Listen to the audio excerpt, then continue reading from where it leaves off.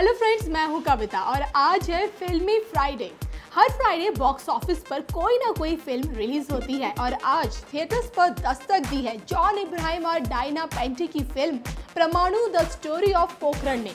ये फ़िल्म एक real based story है। अगर आप इस हफ़्ते इस फ़िल्म को देखने का मन बना रहे हैं तो पहले इस फ़िल्म का रिव्यू जान ले। और ये फ़िल्म देखने लायक है या नहीं? शुरुआत करते हैं फ़िल्म की कहानी के साथ। फ़िल्म की कहानी साल उन्नीस सौ अठानवे में हुए पोखरण परमाणु परीक्षण पर बेस्ड है। फ़िल्म में जॉन और डायना ने भारतीय सेना अधिकारी का रोल अदा किया है, जो अपनी जान हथेली पर लेकर परमाणु परीक्षण करते हैं। बता दें कि क्रिटिक्स की तरफ़ से इस फ़िल्म को अच्छे रिव्यूज़ मिले हैं।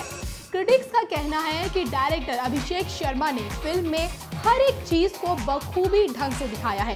फ़िल्म देखते वक्त आपको गर्व महसूस होगा। फ़िल्म का स्क्रीन प्ले शानदार है। क्रिटिक्स ने फ़िल्म के डायरेक्शन सिनेमेटोग्राफी और लोकेशन की भी तारीफ़ की है। इतना ही नहीं फ़िल्म का क्लाइमैक्स बहुत ही ज़बरदस्त है।